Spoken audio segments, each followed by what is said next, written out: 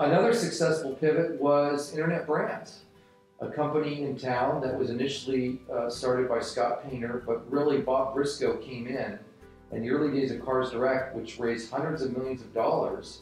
Bob realized that selling cars online was never going to create any equity value. For him, his investors are all employees.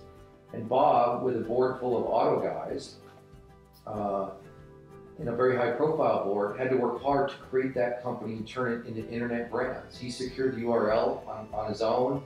He worked hard with his board, and he had a vision as a media guy. Bob came out of Times Mirror to create a real media company.